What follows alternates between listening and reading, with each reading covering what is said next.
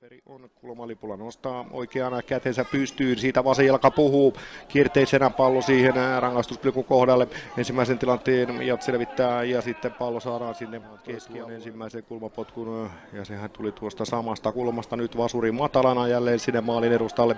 Viiden metrin viivan tuntumaan ensimmäisen tilanteen Jats putsaa uudelleen. Ja sitten jälleen kulmalipulta. Se haetaan sitten olisi kotivoitona paikkaa Jatsilla. Ainakin mahdollisuus siinä mielessä on olemassa, koska Graankula IFK ei ole sarjan kärkijoukkueita, mutta on aloittanut vahvasti ja iskee siinä maalin. Peter Maier numero 17 selässään iskee osuman kuudennella minuutilla, joten kyllähän sieltä sitten saman tien helättää ukkoa nurmen, pinna, nurmen pinnassa, mutta mitään vapareita ei tule sitten Mäkelä pystypalloa Lehtoselle eteenpäin. Lehtonen kääntää maalille, mutta siellä ottaa huikea torjunnan Toni Vuorinen. Gabriel Virits eteenpäin tuolta laidalta. Ahdasta Ode ja menettää pallo. Loistavasti pelaa Krankula IFK tuon tilanteen. Viritsiltä viedään pallo kuin Tikku Nekku pikku lapselta, kuten sanota kuuluu, ja selvittää tämän tilanteen. Ja sitten on kotijoukkueen vuoro yrittää rakentaa hyökkäystä. Mapoka, hyvä kääntö sinne laitaan. Sieltä lähdetään tulemaan. Maalille olisi menijöitä ja sitten lähtee laukaus. Edellisen hyvän paikana.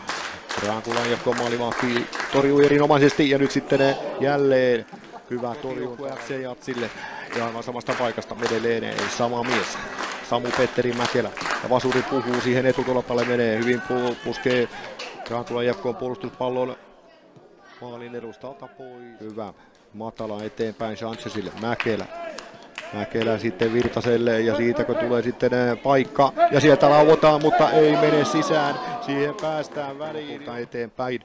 Sieltä sitten juoksupalloa ja nyt on kiire. Virits puskee pallon suoraan vastustajalle, mutta pystyy pelastamaan tilanteen. Peter Maier nostaa eteenpäin ja siitä Junnila hän onnikkaastikin saa puskettua pallon Lehtoselle. Lehtonen lähtee haastamaan, nyt olisi paikka, mutta laukaus nousee. Vähän huolimaton syöttö tässäkin tilanteessa ja nyt tulee paikkaa ja pallo tolppaan. Siinä pääsee Faton Seferi ampumaan palloa Jatsille keskialueella ja vastaan iskee Grankula IFK ja siellä se on jälleen tolpassa. Tuossa samassa tolpassa se on käynyt jo useaan otteeseen laidalle. Ja nyt pallon riistoon pyrkii Jat siellä keskiympyrässä sitten hyvin eteenpäin ja Mäkelä pääseekö siitä sitten yksin läpi. Mäkelä tulee ja meneekö pallo maali? Kyllä se sinne menee.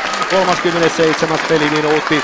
Samu Petteri Mäkelä tasoittaa lukemat yhteen yhteen.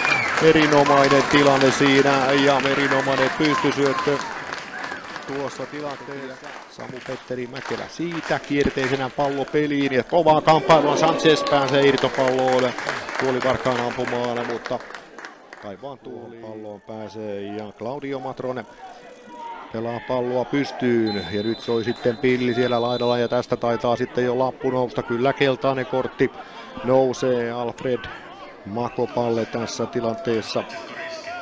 Eli ei siinä paljon Joni Hyytiällä ottelun päätuomarilla vaihtoehtoja ollut. Uutta paikkaa sitten toista laitaa pitkin tullaan ja taas keskitellään. Tällä kertaa matalana on Virts katkoo, mutta suoraan vastustajalle sieltähän tulee melkoinen tykki tuossa tilanteessa ja pallo on maalissa toistamiseen.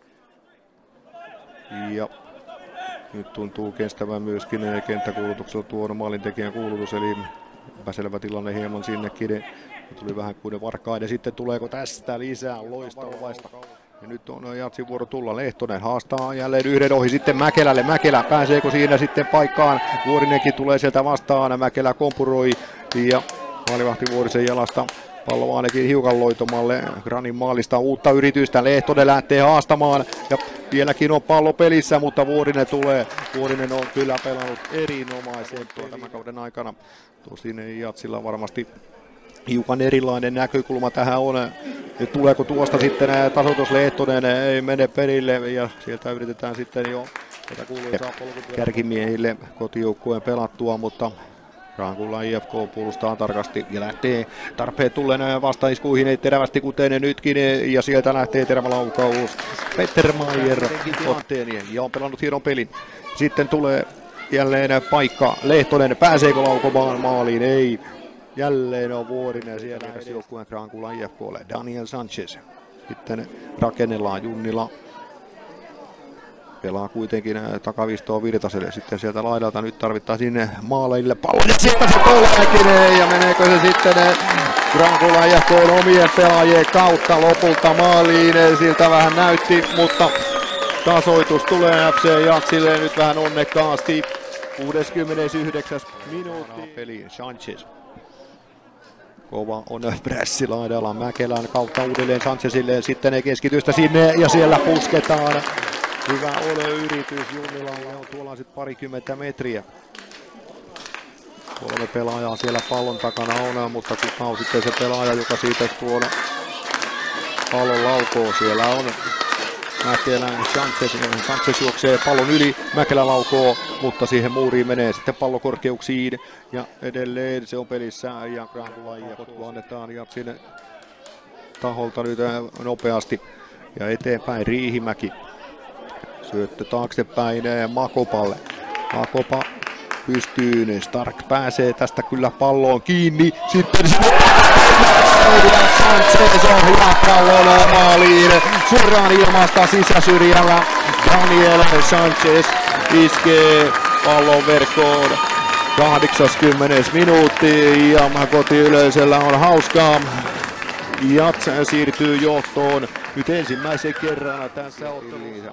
Ja tuosta Riihimäki nostaa pallon korkealle sinne laidalle ja Grani kenttäpuoliskolle Sanchezen sitten Ville Starkilla on paikka, mutta Vuorinen jälleen napsii kiinni.